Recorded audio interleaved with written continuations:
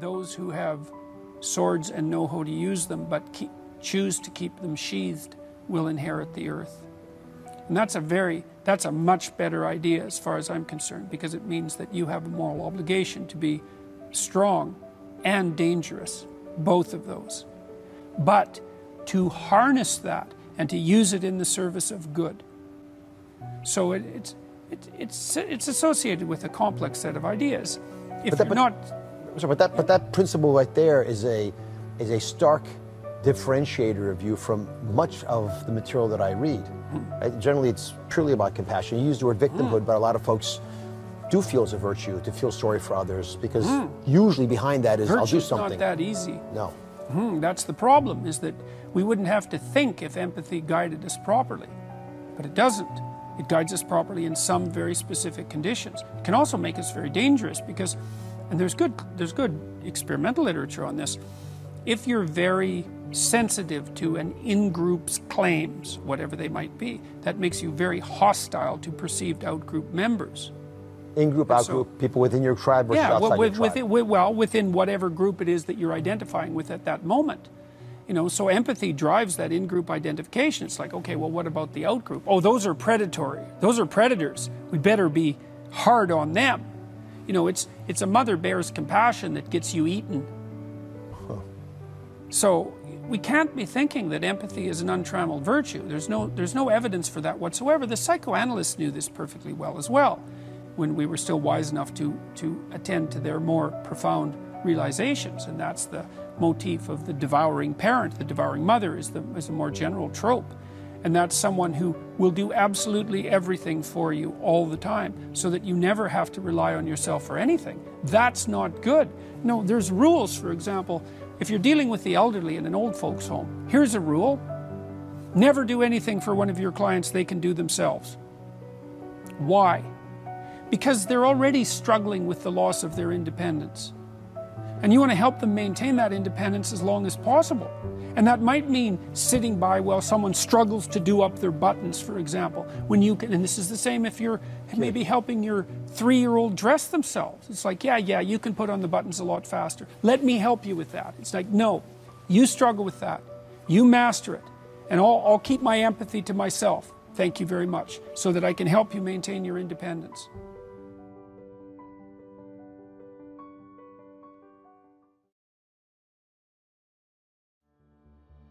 Every single person who sets out to put themselves together ethically is a net positive to everyone around them. There's no downside to that. You know, and I my book has been criticized by people who've read it very poorly, especially chapter 1 when I talk about hierarchies that I'm somehow supporting the idea that power in a hierarchy is the right way to be and that's there's absolutely nothing in what I've written that suggests that at all. Like I'm suggesting that human hierarchies are very complex and that the way that you win in a human hierarchy is by being competent and reciprocal.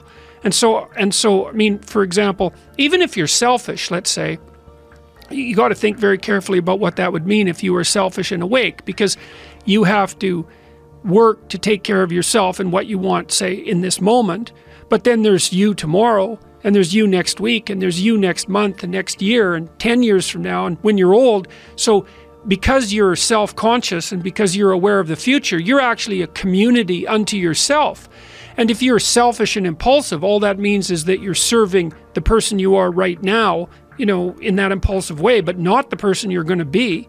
And so that's not a good grounds for any sort of ethical behavior.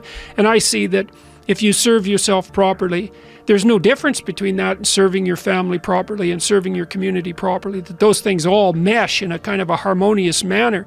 And one of the things that's really been effective in the lecture tour is a discussion about that idea and its relationship between the relationship between that and meaning and responsibility because one of the things that strikes the audience as silent constantly because I'm always listening to them to see, you know, when when the attention is maximally focused is whenever I point out to people that the antidote to the meaninglessness of their life and the suffering and the malevolence that they might be displaying because they're resentful and bitter about how things have turned out. The antidote to that is to take on more responsibility for themselves and for other people, and that that's aspirational, which is kind of cool.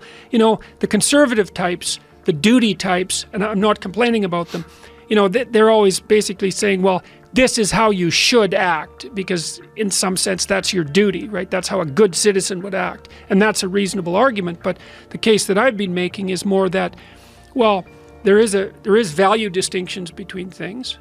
Some things are worth doing and some things aren't, and you can kind of discover what that is for yourself, and then you should aim at the things that are most worth doing. And what you'll find if you watch carefully is that the things that you find worth doing are almost always associated with an increase in responsibility. Because if you think about the people you admire, for example, you spontaneously admire people, and that's a manifestation of the instinct to imitate. Again, people are very imitative. You don't admire people who don't take care of themselves. Like, unless there's something wrong with you, you, you at least want an admirable person to be accountable for themselves. And then if they've got something left over so they can be accountable for their family, well, then that's a net plus, obviously. That's someone you think is solid. And then maybe they take care of some more people. They have a business or they're involved in the community in some positive way. You see, well, that's a person whose pattern of being is worth imitating. And so, and that's all associated with responsibility. And it's so interesting because it's as if, it's as if everybody kind of knows this, but that it hasn't crystallized. It's like, well, you should be responsible because that's what a good citizen is. It's not, no, no, you should be responsible because you need to have a deep meaning in your life to offset the suffering so you don't get bitter. And the way you do that is to bear a heavy load, you know, to get yourself in, in check for you now and for you in the future, and then to do the same for your family and your community, and that there's real nobility in that, and there's real meaning. And more, the other thing that I've been suggesting to people, and I also believe this, is that, and I think that the guys that have come to talk to me, especially the ones that have had real, real rough lives, they really understand this. If you don't get your act together and you let yourself slide, then what kind of moves in to take the place of what you could have been is something that's really not good at all. So it's not only that if you're living a like a dissolute life that you're not aiming at anything positive and so you don't have any real meaning and you're subsumed by anxiety and all of that and hopelessness. But something kind of hellish moves in there too to to occupy that place and so then you end up making things worse. And when you know one of the things i learned about studying totalitarian systems whether they were on the right or the left was that part of the reason that the totalitarian horrors of the 20th century manifested themselves was because average people didn't take on the proper responsibility. They shut their eyes when their eyes should have been open, even though they knew it. And they did and said things they knew they shouldn't have done and said. And that was what supported those horrible systems. So, you know, if you don't get your act together, then you leave a little space for hell. And I really believe that. So I figured something out that I okay. thought I'd tell you about. This took me like 30 years to figure out, and I figured it out on this tour. So there's this old idea, you know, that you have to rescue your father from the belly of the whale, right? From some mm-hmm. monster that's deep in the abyss. You see that in Pinocchio, for example, but it's a very common idea. And I figured out why that is, I think. So imagine that we already know from a clinical perspective that, you know, if you set out a path towards a goal, which you want to do because you need a goal and you need a path because mm-hmm. that provides you with positive emotion, right? So you, you set up something as valuable, so that implies a hierarchy. You set up something as valuable. You decide that you're going to do that instead of other things, so that's kind of a sacrifice because you're sacrificing everything else to pursue that. And then you experience a fair bit of positive emotion and meaning as you watch yourself move towards the goal. And so the implication of that is that the better the goal, the the the more full and rich your experience is going to be when you pursue it. So that's one of the reasons of, of that's one of the reasons for developing a vision and for fleshing yourself out philosophically because you want to aim at the highest goal that you can manage. Okay, so you do that. And then what you'll find is that as you move towards the goal, there are certain things that that that you have to accomplish that frighten you you know, maybe you have to learn to be a better speaker, a better writer, a better thinker. You have to be better to people around you, or you have to learn some new skills, and you're afraid of that. Whatever, because it's going to stretch you if you if you pursue a goal, and it's and so that'll put you up against challenges. Okay, so all the clinical data indicates well the opposite of safe spaces, as Jonathan Haidt has been pointing out, that what you want to do when you identify something that someone is avoiding that they need to do because they're afraid you have them voluntary, con voluntarily confronted. And so you break it down. What you try to do if you're a behavior therapist is you break down the thing they're avoiding into smaller and smaller pieces until you find a piece that's small enough so they'll do it. And it doesn't really matter as long as they start it. you know, then they can put the next piece on and the next piece. And what happens is they don't get less afraid exactly, they get braver. They get, they get, it's like there's more of them. And you can, and, and here's why. So imagine you do something new and that's informative, right? There's information in the action, and then you can incorporate that information and turn it into a skill and turn it into a transformation of your perceptions. So there's more to you because you've tried something new. So that's one thing. But the second thing is, and there's good biological evidence for this now, that if you put yourself in a new situation, then new genes code for new proteins and build new neural structures and new nervous system structures. Same thing happens to some degree when you work out, right? Because your your muscles are responding to the load, but your nervous system does that too. So you imagine that there's a lot of potential you locked in your genetic code. And then if you put yourself in a new situation, then then the stress that's the situational stress that's produced by that particular situation unlocks those genes and then builds new parts of you. And so that's very cool because who knows how much there is locked inside of you. Okay, so now here's the idea. So let's assume that that scales as you take on heavier and heavier loads. That more and more of you, you get more and more informed because you're doing more and more difficult things, but more and more of you gets unlocked.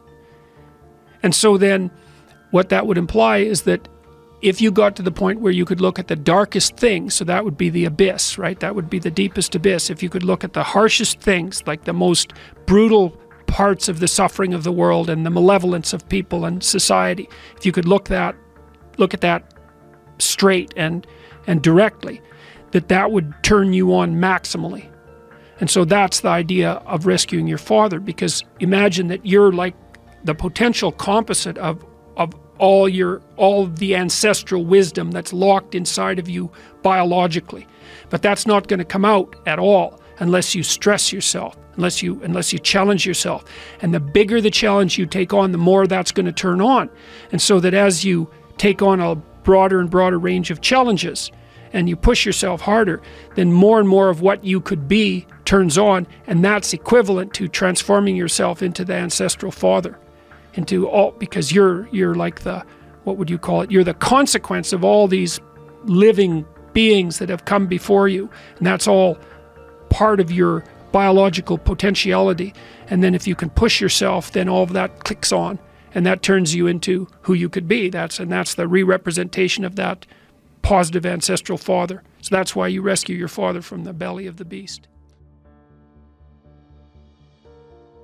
The two major problems that people face, obviously, are suffering, tragedy, and malevolence. And so that's the other thing that you're responsible for, is that you're supposed to look at the capacity for human evil as clearly as you possibly can, which is a very terrifying thing. You know, that causes post-traumatic stress disorder in people that aren't accustomed to it. And in the mythology that's associated with the encounter with evil, it's almost always the case that the entity that does the encountering, even if it does it voluntarily, is is is hurt by it. So the Egyptian god Horus, for example, who's the eye and the falcon, the thing that can see and pay attention, when he encounters his evil uncle Seth, who's the precursor of Satan, he loses an eye. Because it's no joke to encounter malevolence. You know, it, it can really shake you.